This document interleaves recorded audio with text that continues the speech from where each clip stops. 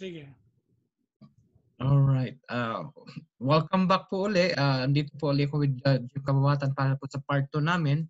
Uh, so Kuya Jim, paki-explain po bakit po kayo royalista and then bakit po na despite na natanggal ni sila sa noong 1986, sobrang daming demolition nangyari, sobrang talagang pinakamasamang tao sa mundo, kumbaga ang, ang portrayal sa kanila. Bakit po kayo Marcos loyalist pa rin? Actually, uh, nagkataon lang na tinawag tayong Marcos loyalist.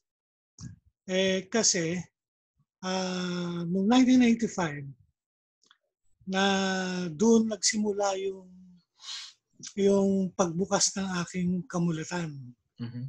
Uh, sa tulong ni ni Camilo Tayan na one of the organizer and uh, chairman ng Kilusang Kaisipan at Diwang Pilipino o Movement for Filipino Ideology where uh, si Madam uh, First Lady ay uh, honorary chair chairperson during uh, during that time. Yeah. At nagkaroon ng uh, seminar, training sa Bulacan. And I was uh, invited by my brother, Colonel Kabuwatan, who is in the military sa Philippine Constabulary. Yes. At uh, meron siyang uh, meron siyang seminar regarding the Filipino ideology and the democratic revolution from the center yeah. under the executive order 879 of President Marcos. Yeah. So uh, nabuksan ng aking uh, isipan na uh, ng mga pangyayari ang kasaysayan, ang magulong kasaysayan uh, since 19 since 1896 pagpapatuloy ng Revolusyong 1896 nila Bonifacio na udlot noong 1898 at maraming mga pinagdaanan na, na kasaysayan ng ating bansa hanggang sa dumating ng panahon ni, ni Presidente Marcos mm-hmm.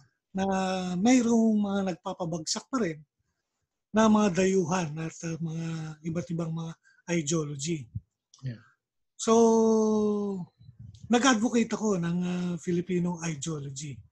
Uh, college ako noon sa dentistry. Nag-organize, sinama ako sa sa community, sinama ako sa iba't ibang uh, lugar dito sa Metro Manila, nagsalita, nag-training. At uh, yun na nga, doon na nagsimula yung yung aking uh, pagkaka loyalista sa sa Pilipino hmm. hindi sa personality yeah. hindi sa hindi kay Pangulong Marcos yeah. it's not the president himself pero yung idea niya yeah. yung idea niya ng yeah. Filipino ideology yung kanyang vision and mission para sa sa bansa yun yun ang aking pinanghawakan mm-hmm. hanggang sa uh, nawala na nga siya. Ibang mga mga pangulo na uh, tumayo, nanatili sa amin, sa grupo namin, na ipagpatuloy yung Filipino ideology. Mm-hmm. Hindi kami nakapasok sa sa gobyerno. Alam mo naman, pagka Filipino ideology, identified kay Pangulong Marcos yan, sabi nga nila. Yeah. So, nag-iba-iba kami ng, ng mukha. So, uh, pinasok namin, instead of Filipino ideology, Filipinism na. Hanggang sa napasok namin ang DILG, napasok namin ng, uh, again, yung military dahil hindi na Philippine.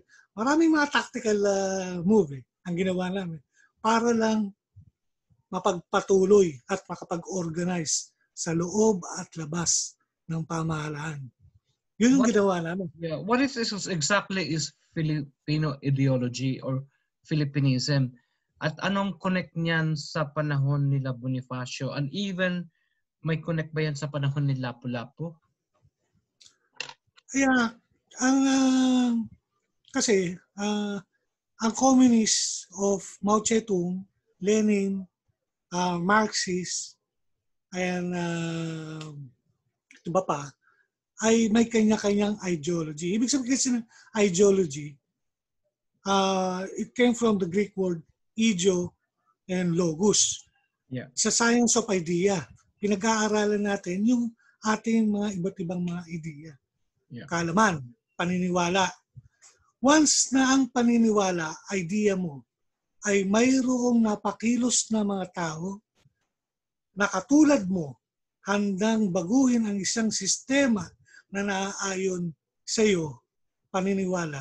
May katulad, may kapanalig ka, napakilos mo siya para sa pagbabago. Yan ay tinatawag na ideology. Yeah. Isang buhay na ideol, ang na idea. Buhay siya. Hindi sa hindi sa patay, hindi sa baog, kundi nakapagmumulat pa, dumarami pa. Kaya nga sabi namin, ihalera mo ang mga NPA sa pader at pagpapatayin mo yan, baliwala yan. Yeah. May uusbong at uusbong ka pa rin dyan kasi may ideology yan. Yeah. You can only kill the ideology by a, a superior ideology, which is the Filipino ideology. And I agree. Yeah. Marxist Lenin and Mao Zedong is a foreign ideology, not based on our culture, tradition, and history. Yeah. Pero ang Filipino ideology is based on the idea of Bonifacio, Mabini, Del Pilar, and so on, Mhm. of our heroes. So yung pinaglalaban ni, Bo- ni Bonifacio, ni Mabini, ni Jose Rizal, ni Del Pilar, at iba pa, ay pinag, pinagpapatuloy lang natin. Kasi yung din naman eh, kalayaan, kapayapaan, kaunlaran, tunay na demokrasya. Kasi pag sinabi natin democracy, is a universal uh, values yan eh. Yes. Lahat gusto ng demokrasya pero may kanya-kanyang demokrasya. And even socialist republic, even Russia, even China, meron silang sariling democracy. Yeah. So itong mga mga NPA nito, itong mga mga aktivistang CPP NPA nito, bakit sila sumisigaw ng democracy? Kasi meron silang ibang klaseng paniniwala ng ah, demokrasya. eh. Sumisigaw pa rin sila. Pero sinasabi natin, dinawin natin ang ano bang klaseng demokrasya yan. Demokrasyang Pilipino, base sa kultura at paniniwala dapat nating mga Pilipino. Yan ang dapat nating yakapin. Yeah. At ang ideology dapat natin ay Pilipino, hindi dayuhan. Yeah. Long time ago, Wala. nabasa ko yung... Yeah, go, go ahead. Sorry. Interrupt. Kaya, kaya malinaw doon sa Filipinism, Filipino nationalism. Yeah. Hindi, wala siyang tinatago kasi maraming nationalism eh. Mhm. Maraming pagiging makabayan. Makiba, makibayan, makabayan ka pero communist ideology ang taglay mo. Yeah. Makabayan ka pero liberal democracy ang ah, ang ah, karga mo. Eh dapat malinaw sa atin yung yung ano yung nationalismo natin. Kaya nilinaw na natin Filipino nationalism and Filipinism ang tawag dyan. Yeah. I personally think of communism as evil as an ideology. Uh, agree po ba kayo doon? Eh, ang ang communism is only ay ano yan eh, ah, pangarap lang yan eh. Wala pa nakakarating sa sa estado ng komunismo. Yeah. Even even Russia and China, wala pa sa estado ng ng komunismo. De, mga socialist republic sila. Mga sosyalista sila. Ang iisang nag-komunista na lang dito, si Joma Sison. And even China, hindi na siya hindi na siya socialist, kundi capitalist na rin siya. And Russia, bumabagsak na. Nagiging capitalist na rin sila. Imperial. Yeah, ang nakikita ko kasi sa sa communist communism is uh, sa mundong ginagalawan natin na we are in a 3D, you know, dimension. Wala pa tayo, hindi we're not highly spiritualized na na evolve na mga tao eh. Uh, kung highly spiritualized evolve tayong mga tao na we you know, we have very high integrity all of us, you know, I think communism would be a good ideology kung ganun ang ang, ang ating you know ang society kaso hindi and it would never be uh, the case dahil nga ang ating you know ang ating collective you know as a world na you know spiritual evolution ay hindi pa mataas. The fact na you know away-away pa tayo hindi pa tayo magkaintindihan na magkakaibang race at you know within a group ka lang may mga you know. Kasi yan nga yung sinasabing, yun sa, at least sa paniniwala ko na yung pagiging, yung evolution natin in a spiritual level is hindi pa mataas. Kaya, and then the reason I said na communism is evil, kasi through through the world history, nakikita mo naman, I mean, look how they destroyed the culture of China because of communism. Look at how they destroyed the culture of Europe and a lot of, you know, um, old uh, architecture of Europe because of communism. Look at how we destroyed, I mean, you know, like neighbor natin, uh, Vietnam, Cambodia, Laos. Look at how they destroyed their nation because of communism. And yet, ang nakakatakot nito, ang daming kabataan ngayon diyan sa Pilipinas na na talagang mag, magpapakamatay para sa kanilang ideology, ideology na ganyan.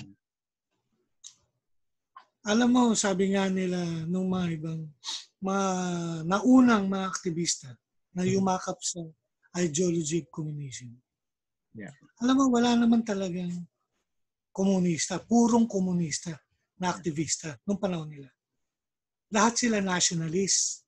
Kaya lang, nung sila ay uh, na, na, nangangailangan ng kaagapay na ideology, ang uh, ang communist ideology ang unang yumakap sa kanila at sinakyan yung pagiging makabayan nila. Sinakyan hanggang sa dumating yung pagkakataon na ultimo ang paniniwala, ang kilos, ang gawa nila ay naaayon na sa paniniwala ng dayuhang komunismo. Mm-hmm. Eh, ang komunismo kasi, from the word communal, wala pa nakarating dyan. Kung meron bang bansa, meron bang estado na lahat pantay-pantay? No. Wala eh. Not even Walang- walang not even China. Even in China, meron silang leader. Yes. Meron nakakaangat. At- Kaya wala, wala sa yan. Exactly. Eh, ano lang yan eh. Pang, pang ah, hikayat lang yan eh. Yeah. Pang hikayat lang. Pero itong mga, itong mga aktivista nating mga, mga Pilipino, mga nationalist yan. Mhm. At sa totoo lang, nung panahon namin noon, ang ah, LFS, ang ah, mga iba't ibang organisasyon ng kaliwa dito sa Pilipinas, bumagsak sila kasi tinapatan namin sila. Kung may LFS sila, meron kaming NASCO, meron kaming NSA, National Student Alliance. Kung meron silang ah, ah, mga organisasyon, ng mga mga KM, Kabataan Makabayan, meron kaming tinapat sa kanila, Kabataang Magpapalaya ng Bayan, KMB. Yeah.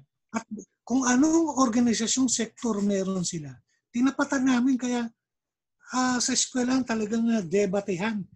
Natalo sila nung panahon namin noon. Kasi kung nasaan sila, nandoon kami, nakikipag nakikipagdebate kami. Ah, tunggalian lang ng ideology. Kaya nga sabi, sabi ko, you can only kill an ideology with the superior ideology. Mhm. Bakit po ang Philippinism or Filipino ideology ay ah, pinapaniwalaan ninyo at bakit ah, do you think it will be ah, good for us as a nation? Bakit? Anong pinanghugutan niyan? Mo, ano eh, Kultura natin, tradition bansang, yeah. Okay, walang bansang umunlad nang walang malinaw sa kanila yung pagiging makabansa nila. Pagiging kung ano meron sila.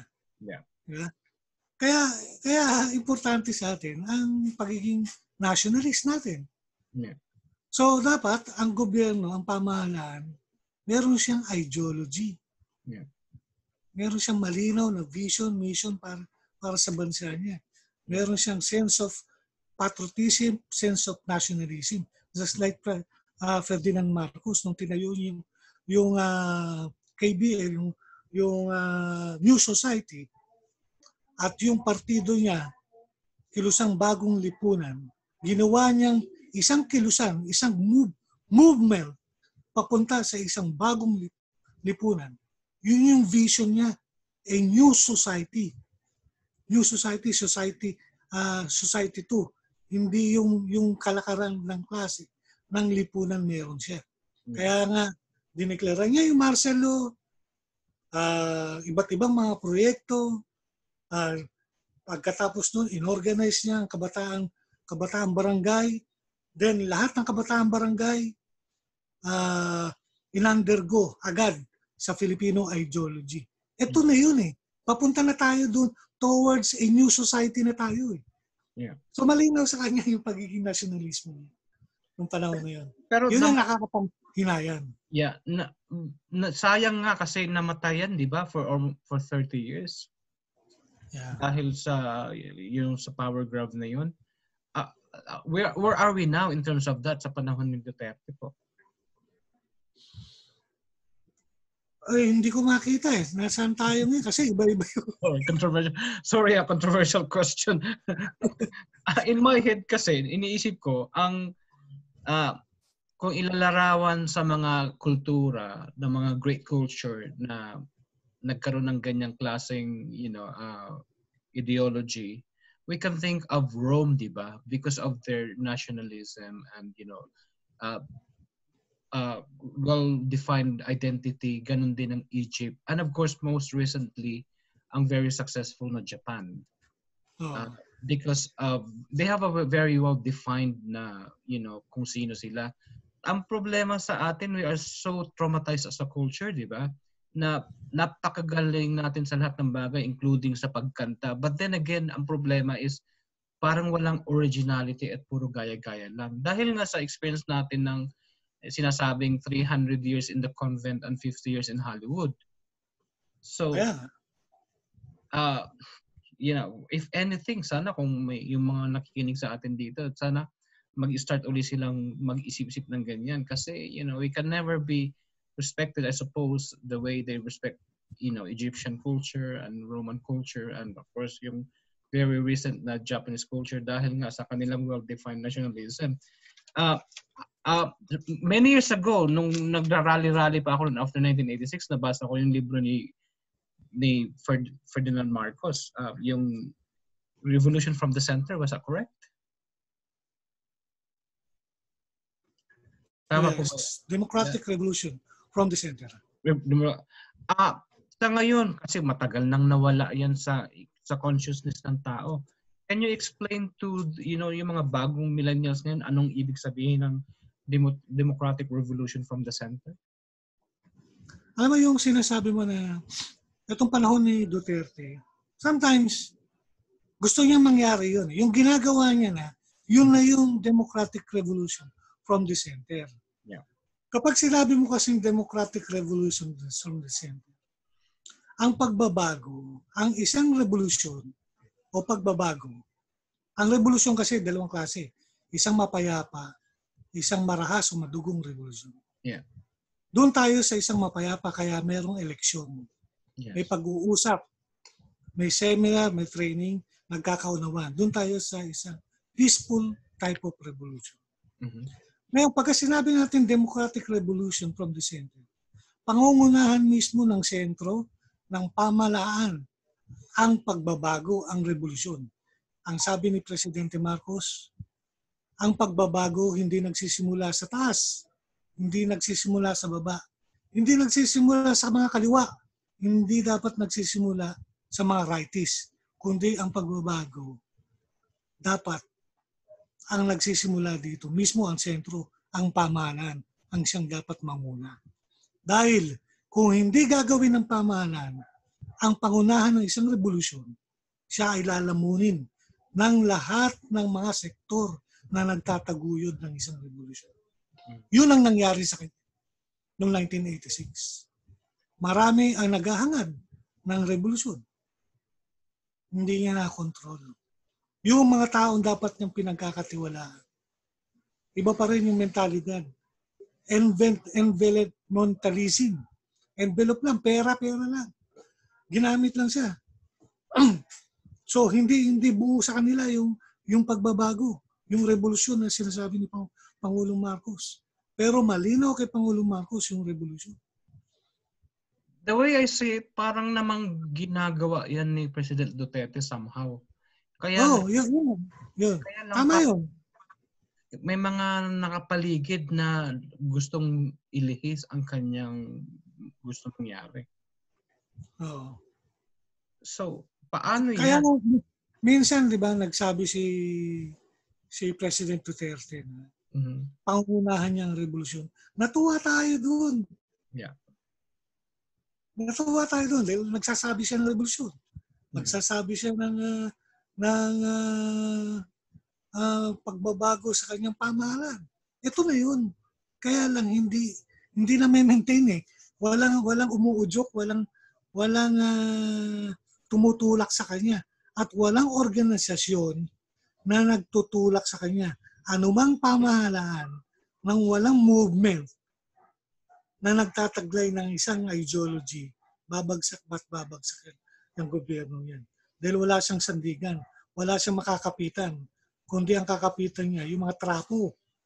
That's very basic, no? At also, um, nakikita ko din kasi na kaya hindi rin nangyayari yan kasi mga makasarili, mga nakapaligid sa kanya. you know what I mean? Uh, although siya, na, sa tingin ko, eh, napaka-pure ng intention niya, pero yung, yung mga andun sa paligid. But then again, parang nagre-reflect nga lang yan sa sinabi mo na wala kasing organization na nag-uudyo.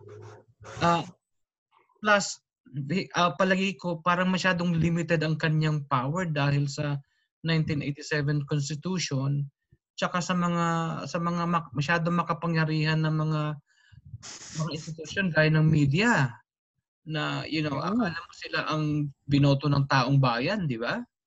Kaya nga, mga abusado, masyadong, masyadong, ah, yan kasi, ang ah, naging ah, epekto ng ah, demokrasya ni, ni Cory. Pinalaki ng ulo lahat ng mga media nito, media entity nito. Yeah. Paano Oo. yan? I mean, ah, God forbid, sabihin na natin, no, bago matapos si sa panahon si Presidente Duterte, eh, may mga mangyari sa kanya. So constitutionally, ang susunod na presi- presidente si Robredo dahil siya ang dineklara eh. Although we know na dinaya siya. Then we're back to zero na naman. We're back to the dark days na naman. How? Anong pwede natin gawin kayo as an organization para, you know, mabago yung sistema na yan? Pwede bang i-push pa rin yung revolutionary government? Yan nga yung ating ah, pinipilit na mangyari. No? Magka, kung talagang gusto ni Pangulong Duterte na ng ah, isang ah, radical change Mm. sa kanyang two years na lang na term, eh magdeklara na siya ng isang revolutionary government. Ayusin niya at ah, ilagay niya sa tama ang mga panunungkulan, ang mga istruktura ng pamahalaan.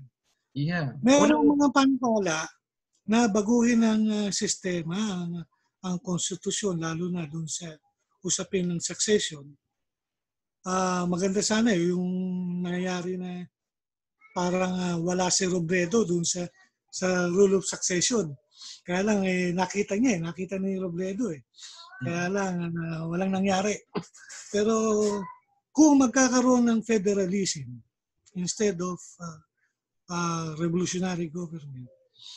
Siyempre, wala nang presidential form of government.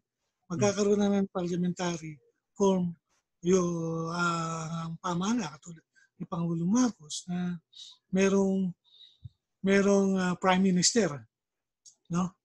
So, sino yung magiging prime minister? Yun na lang pagtatanong. Sino yung pwedeng ilagay na prime minister? Mhm. Eh, definitely kung ah, malakas ang malakas ang ah, ang hatak at kapanalig ni Presidente Duterte, eh hindi dapat malagay si si Robredo as Prime Minister. Yeah. Two years na lang ang term ni President Duterte. Nakakatakot dyan is uh, yung kingmaker which is Comelec and Smartmatic. Paano tayo niyan sa 2022? Yun ang masakit diyan. Kaya, kaya nga sinasabi natin, eh, bago bago pa mangyari ang mga eleksyon sana, eh itama na eh kung pwedeng i-reorganize ang COMELEC, i-abolish ang Congress, i- i-abolish ang uh, COMELEC, eh hanggang sa matanggal yung yung mga corrupt official dyan sa Comelec. Kasi yung Smartmatic, creation yan, at yan ay uh, ang uh, makapagbabago lang dyan, ang Kongreso. Pero hanggat nandiyan dyan yung mga, mga taong uh, nakinabang yeah. sa Smartmatic, kakontsaba ang Comelec, hindi matatanggal yan. So ano, ano dapat talagang gawin? I-abolish mo na yung Congress. Yeah, revolutionary government. Yun na yun. Revolutionary government. Anyway, Francis, uh, ba, baka bigla ako mawala sa area. Uh, ah, 11%, 11% na lang pala yung battery. Sige, actually, um, maganda yung usapan natin. Naka, mahaba-haba tayo. Naka-part 2 nga tayo eh. Uh, pwede na na siguro nating tapusin kung, uh, I mean, pwede natin ituloy hanggang mawala yung ano mo. What do you think? Should we continue or? Okay lang. Okay lang. Pwede ma- mawala pero baka mabitin tayo. Ah, sige lang. Uh, 11% palagay ko mga 5-10 minutes ba yan. Ituloy muna natin. Um, nawala yung tatanungin ko sa iyo but I think it has something to do with yung two years na very limited time ni ni President Duterte. At um, paano tayo paano natin ipapasok diyan yung yung pag-awareness drive natin, yung pag-empower natin ng mga mag-develop ng mga leaders in eventuality na you know uh, mangyari yan or magkaroon ng ele- um, sa darating na election na 2022 uh, kung yun, smartmatic na naman ang mag magdesisyon. Yun, yun ang uh, iniisip ko eh. Kasi kung itong pandemic nito, eh tumagal pa. Sabi nila, it takes around two, two years or three years pa. Kasi yung system eh, uh, babagsak ang ekonomiya, uh, magre-recover pa tayo. Eh baka nga iniisip ko, baka wala pang eleksyon eh. Kasi how can we go uh, sa, sa, sa, sa election ng 2022 kung bagsak ang ekonomiya mo? Wala kang pera, walang pondo, walang, walang tumatakbo. So kailangan pa tayo mag-generate for another, after this year, another one year to generate funds. Then 2002 na. Tapos hmm. uubusin mo sa sa election. Eh marami ka pang gagawin. So, yun ang yun ang yun ang hindi ko yun ang iniisip ko. We have Kung to think of a solution. We have we really have to think of a solution. I'm sure may mga nakikinig sa atin diyan na hopefully na natitrigger natin yung kanilang mga utak na you know to come up with uh, with a solution kasi collectively tayo talo tayo lahat. Kaya nga by by uh, by all means no possible uh, using this uh, new technology, media technology. Then gamitin natin hanggat maaari uh, using this technology. Kung hindi tayo makalabas in two years, in one year, walang uh, walang pwedeng naka-quarantine pa, naka-ECQ, GCQ, limited ang time, limited ang, ang uh, activities. Eh, yun ang ano, yun ang isang problema natin. All right. So, uh, anong ma-advise po ninyo sa mga Marcos loyalists, sa mga leaders ng iba't ibang grupo, sa mga you know, sa mga gustong uh, tumulong or mag-organisa, anong pwede natin gawin uh, to prepare for for 2022? Ang ma-advise ko lang sa kanila, eh, maging makatotohanan tayo sa sarili natin. Mm. No? Gusto ba natin ng ma- mapanalo natin yung laban natin? Yeah. O gusto lang natin magkaroon ng mga kasama mga kaibigan, gusto lang natin mag, mag-enjoy. So, eh, dapat malaman natin na uh, ano ba ang gagawin natin? Ano, ano, bakit at para kanino ba yung gagawin natin? Ngayon, kung malinaw na sa atin, ano, bakit at para kanino ito, suriin natin ang sarili natin. Then, mag-start na tayo. Or, organize na natin ang sarili nating uh, bakuran. Yeah. Uh, i-organize na natin yung mga taong kaya natin abutin, abutin mm-hmm. ang ating mga kamay. Magsimula na tayo, magkaisa na tayo. Tanggalin na natin yung, yung pagiging makasarili natin. Yeah. Kung sakasakaling maraming ma-inspire sa video natin na to at uh, you know, lalo na sa mga kabataan, mga millennials, at sana ganun na mangyari, paano nila ikaw ma-reach? Kasi y- I, you know, with your experience, you have the wisdom to, you know, again, to to do the seminars, do the orientation, to create leaders, uh, to uh, to to introduce them to Filippinism and all that. Paano kanila ma-reach? Willing po ba kayo na pwede kayong ma-reach regarding that kung sakasakali? Oo naman, ah, open naman yung Facebook natin. Mm. I-PM na lang nila ako. Ang ang Facebook naman natin eh, yung sarili kong pangalan eh. Hindi ako nagtatago, mismo yung mukha ko nandyan. Hindi tayo troll. No? Basta tanapin na lang nila yung Jim Kabawatan Ah, sige. at ah, i-messenger na lang nila ako.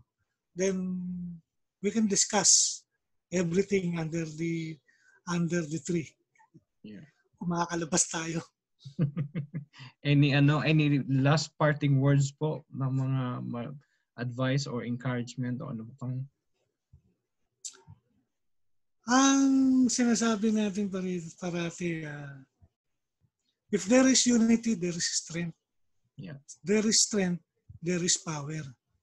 Kung may pagkakaisa, may lakas. Kung may lakas, may kapangyarihan. May kapangyarihan tayong baguhin ang mga bagay na gusto nating baguhin.